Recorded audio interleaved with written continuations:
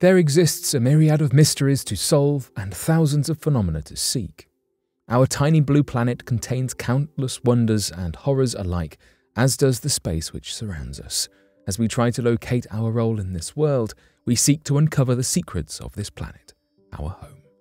So today, here at Unexplained Mysteries, we'll be taking a look at three amazing discoveries.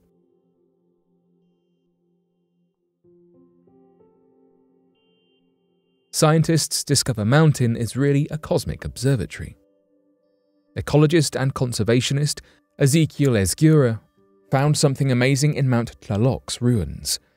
While researching ancient Mexican farming and agriculture, he came across a supposed observatory that aligns with the rising sun on one day of the year. More concretely, Ezcurra uncovered that the ancient civilization which resided within the basin of Mexico used the mountain to track the passing seasons to make it known when to harvest or sow seeds during the year. The National Academies of Sciences published his findings. Before the Spanish seized control of Mexico during the era of Spanish colonization, the citizens of the Basin of Mexico thrived when it came to farming. The community's farmers knew that the monsoon season began in summer, yet would have surely been tempted to sow seeds too early, since early rainfall is common and deceptive, leading farmers to think monsoon season came early only for plants to quickly perish right after sowing. Our records state that this didn't happen. Therefore, there must have been some kind of tracker in place to follow the flow of the seasons to accurately decide when seeds should be planted. Ezcurra points out in his research that the populace lacked tools for observational means, such as European compasses, meaning they must have used different methods to keep track of time. In Ezcurra's words, my initial motivation was to find out how this all started and how these guys came up with these highly productive agricultural systems so early in human history. This was how he ended up in the Mexican mountains. Civilizations all across the globe formed calendars of their own, yet the specifics of this particular location enthralled Ezcurra. He believed that the people used a horizon calendar, which measured time with the position of the setting or rising of sun. As such, the small team of researchers began searching for landmarks in the surrounding area and attempted to find any depiction or mention of them in artifacts or ancient codes. Ezcurra and his researchers used astronomical models which helped them uncover that the rising sun falls perfectly on one of the ruins of Mount Tlaloc on the 23rd or 24th of February every year. In his own words, if an observer is standing in the lower part of this stone causeway, looking upwards on the 23rd or 24th of February, this observer will see the sun rising exactly in the middle of the shaft. The date holds significant power in the Aztec world, as it was believed to have been the day of the Aztec New Year. Despite having only puzzle pieces and not yet the entire puzzle, Ezcurra has called upon other researchers, scientists, and other archaeologists to partake in the investigations into the secrets of Mount Tlaloc. Ezcurra has called for the site to be legally protected and preserved. 168 mysterious Nazca geoglyphs in the desert sands of Peru. A recent discovery revealed 168 geoglyphs in the sands of the Nazca Desert, Peru, in an area known as the Nazca Lines.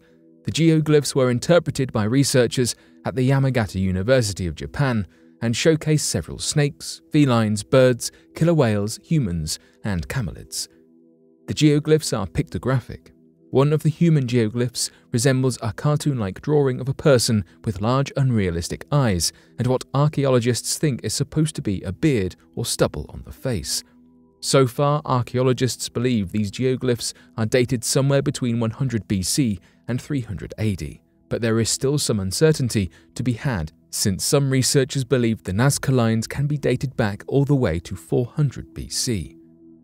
Yamagata University published the photographs they took of the geoglyphs, some edited to highlight the original lines, which otherwise are difficult to see due to centuries of the glyphs gradually deteriorating. The IBM Thomas J. Watson Research Center of New York worked in tandem with Yamagata University. The two organizations utilized artificial intelligence to scan the site of the geoglyphs in hopes that the AI would recognize the markings better and more clearly.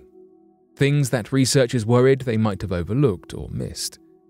Yamagata University publicly stated by using the newly discovered geoglyphs for AI analysis, Yamagata University aims to clarify the distribution patterns of the geoglyphs. The results of this research will also be used for geoglyph conservation activities. The Yamagata research took place in the period between June 2019 and February 2020. These 168 geoglyphs are far from the only ones located in the area of the Nazca Lines. The entire site is full of glyphs of all kinds. Every one of these geoglyphs follows a pictorial pattern and was created on the Peruvian desert floor. The towns of Nazca and Palpa are included in landmarks and are considered to be one of UNESCO's World Heritage Sites. The Nazca Lines span 400 kilometers. In the past, archaeologists discovered that at the end of the Nazca Lines were wooden snakes dug into the ground.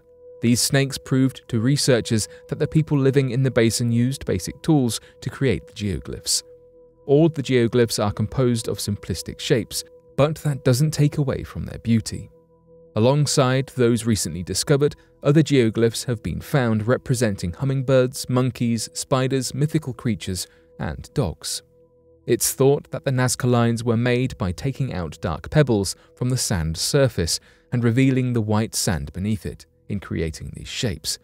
With the discovery of brand new geoglyphs, the total number of found icons is 358, but experts state that they believe several hundred are still out there to be discovered. Peruvian archaeologist Luis Jaime Castillo has openly commented that he thinks only 5% of the Nazca lines have been uncovered. It's tricky to see their full designs unless one is on high ground looking down at the marbles. The Nazca lines were initially found in 1939 when a pilot flew overhead, but it's believed the surrounding locals witnessed their beauty long before from the heights of the hilltops. The reasoning behind their existence remains undetermined. Some archaeologists argue that it was supposed to serve an observatory purpose and work somewhat like a sundial, though other researchers believe that they were simply works of art. For now, it remains a debate. scientists discover two alien minerals in meteorite. When a meteorite crashed into the heart of Somalia, no one could have ever predicted that scientists would uncover never before seen minerals. The meteorite was the ninth largest ever recorded, weighing a shocking 15 tons. Professor of Earth and Atmospheric Sciences at the University of Alberta, Chris Herd, has stated whenever you find a new mineral, it means that the actual geological conditions, the chemistry of the rock, was different than what's been found before. That's what makes this exciting. In this particular meteorite, you have two officially described minerals that are new to science. A 70 gram sample was sent to be tested by the university in order to be classified. This sample revealed the two new minerals, with a third possible mineral currently being analysed. Herd claims that, should the rest of the meteorite be investigated, we may find even more unknown minerals. The two new minerals have been dubbed Elaliite, after El Ali, the name given to the meteorite, and Elkinstantonite, after Lindy Elkins-Tanton, who is a professor at the University of Arizona and the principal investigator of NASA's upcoming Psyche mission, which is meant to intercept an asteroid that's in orbit between Jupiter and Mars. The asteroid possesses many metals and will hopefully bring new knowledge and understanding to our species. Professor Chris Herd has remarked that Elkins-Tanton has done a lot of work on how the cores of planets form, how these iron nickel cores form, and the closest analogue we have are iron meteorites. So it made sense to name a mineral after her and recognize her contributions to science. The California Institute of Technology and UCLA researchers have been working together on this project in unison and revealed that the El Ali meteorite is a rare iron silicate meteorite. In the history of humanity, only 350 have ever been discovered. Andrew Locock assisted Chris Herd in the research and analysis of the El Ali sample. Locock was the one to discover the two mysterious minerals. According to Herd, that was phenomenal. Most of the time, it takes a lot more work than that to say there's a new mineral. Currently, Herd and his team are working tirelessly to figure out how the El Ali meteorite formed and under what conditions. Furthermore, he is trying to uncover what these minerals could be used for.